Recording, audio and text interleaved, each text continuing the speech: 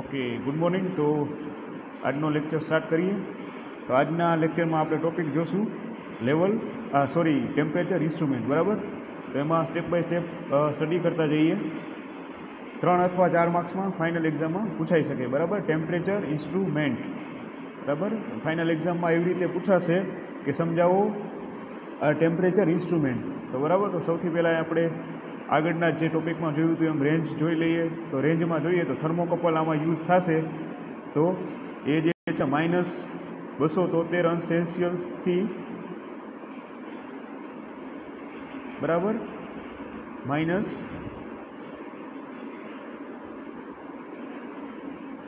Screen દેખાતી નથી. હમ?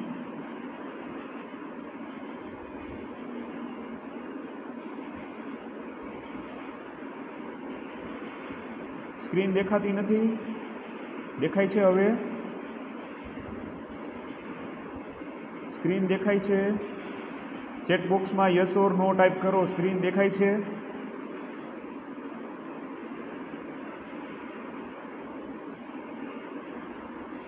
Screen દેખાય છે હવે.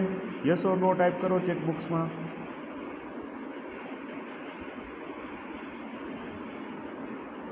ઓકે તો આપણે જે ટેમ્પરેચર ઇન્સ્ટ્રુમેન્ટમાં છે. બરાબર? એમાં જોઈ લઈએ રેન્જ તો એમાં જે થર્મોકપલ હોય એના માટે જે ટેમ્પરેચર છે માઇનસ બસો તોતેર અંશ માઇનસ બસો છોતેર અંશ જેટલું. અને જે આરટીડી એમાં વપરાતું હોય તો એમાં માઇનસ બસો અંશ સેલ્સિયસથી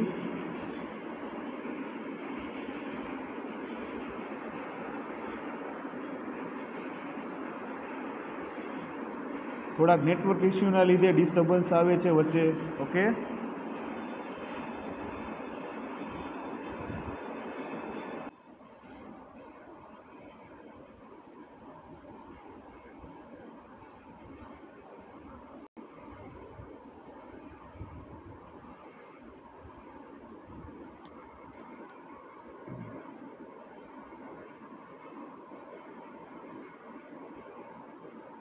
ઓકે, તો સ્ટડી કરીએ ટેમ્પરેચર ઇન્સ્ટ્રુમેન્ટ તો એમાં સૌથી પહેલાં રેન્જ રેન્જમાં થર્મોકપલ વપરાય એના માટે માઇનસ બસો તોતેર અંશ સેલ્સિયસથી માઇનસ બસો છોતેર અંશ સેલ્સિયસ બરાબર?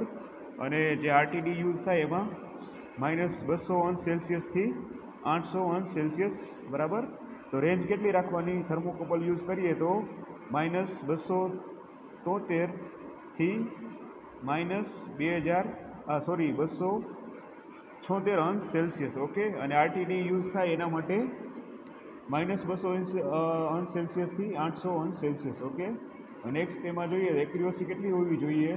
તો એમાં પણ જે ફિલ્ડ સિસ્ટમ થર્મોમીટર હોય એના માટે પ્લસ ઓર માઇનસ પોઈન્ટ પાંચ ટકા જેટલી એમાં એક્યુરસી હોવી જોઈએ, બરાબર? આપણે અત્યારે સ્ટડી કરીએ છીએ ટેમ્પરેચર ઇન્સ્ટ્રુમેન્ટ બરાબર?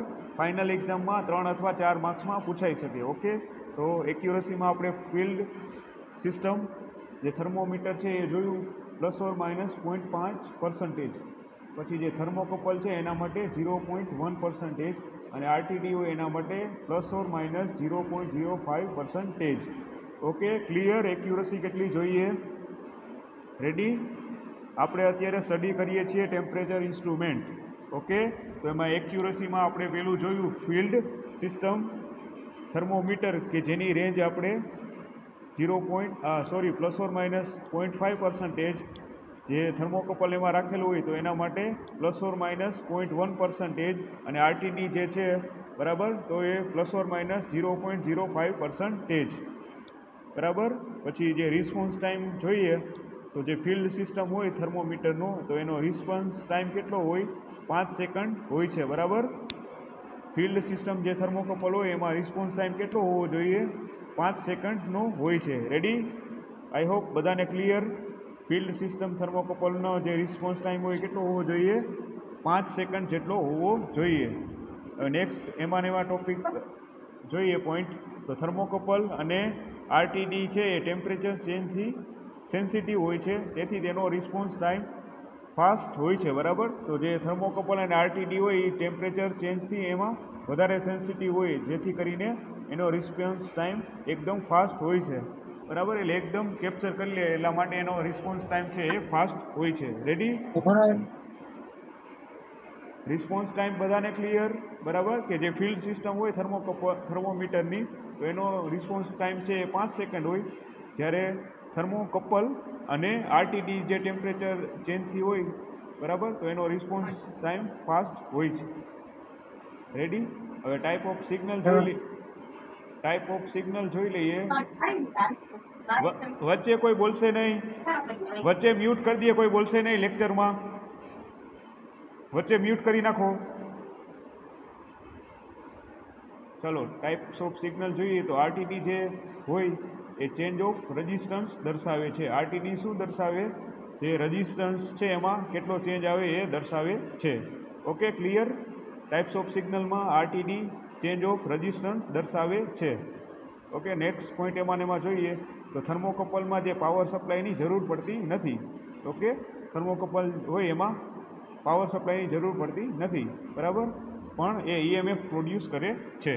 રેડી ક્લિયર થર્મોકપલ હોય એમાં પાવર સપ્લાયની જરૂર રહેતી નથી બટ યુએમએફ પ્રોડ્યુસ કરે છે. રેડી ક્લિયર ટેમ્પરેચર ઇન્સ્ટ્રુમેન્ટમાં બરાબર, ફરી એકવાર જોઈ લ્યો એક્યુર રેન્જ કેટલી હતી?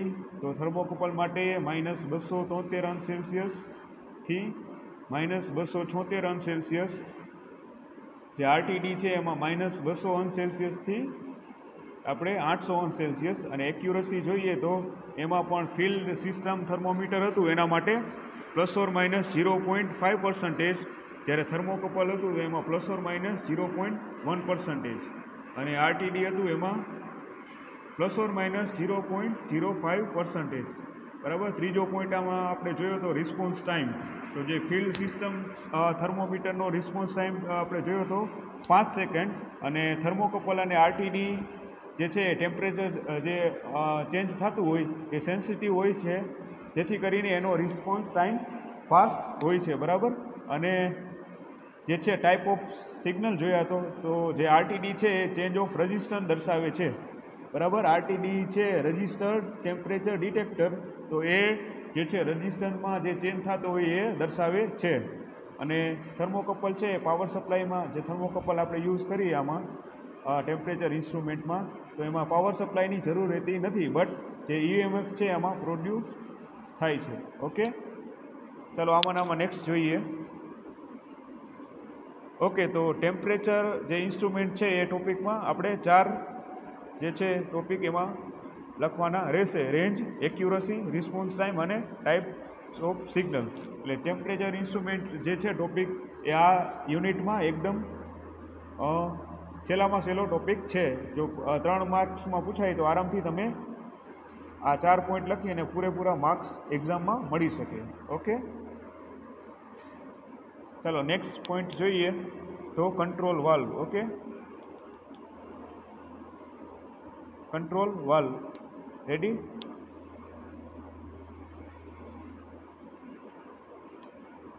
તો એમાં પણ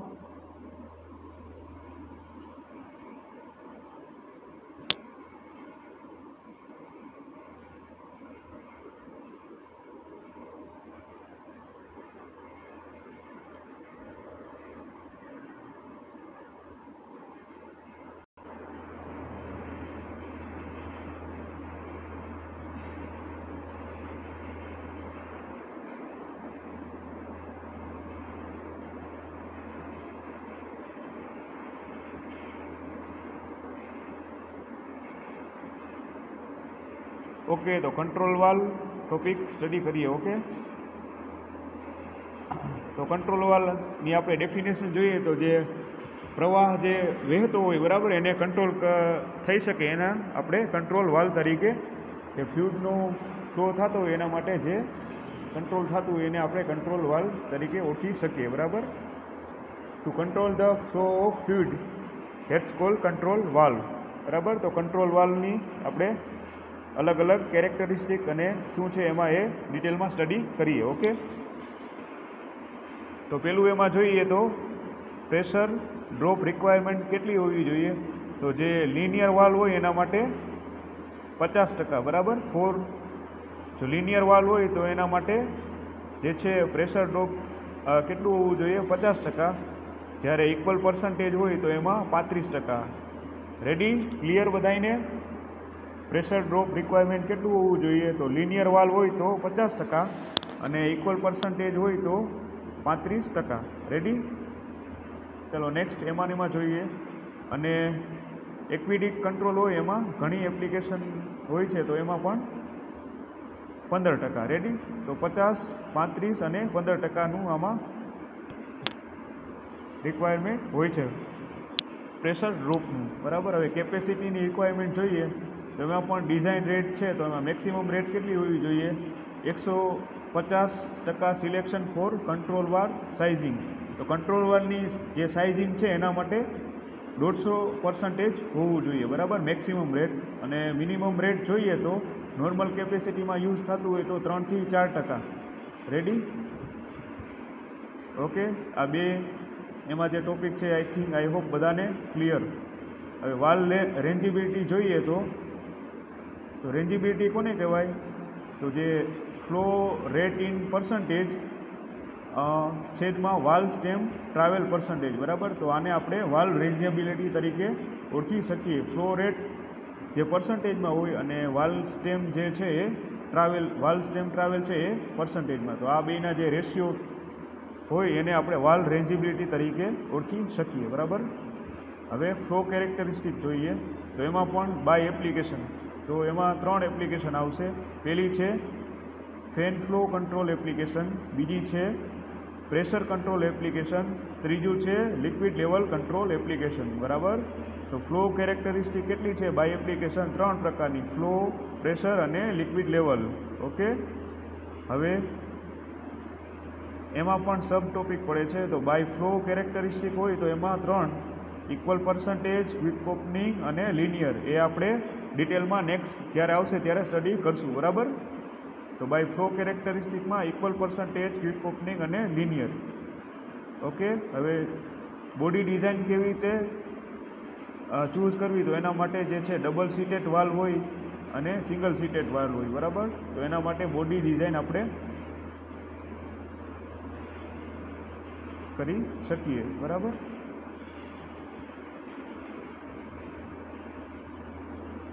અને બોલ વાલ. તો કંટ્રોલ વાલમાં આપણે જે છે આટલું ફાઇનલ એક્ઝામમાં લખવાનું રહેશે, બરાબર? Pressure drop requirement capacity requirement valve rangeability flow characteristic અને ચૂઝિંગ ધ બોડી ડિઝાઇન બરાબર? તો આજના લેક્ચરમાં આપણે આટલું રાખીએ, બરાબર? ટેમ્પરેચર ઇન્સ્ટ્રુમેન્ટ અને કંટ્રોલ વાલ્વ ઓકે નેક્સ્ટ લેક્ચરમાં વધારે સ્ટડી કરશું.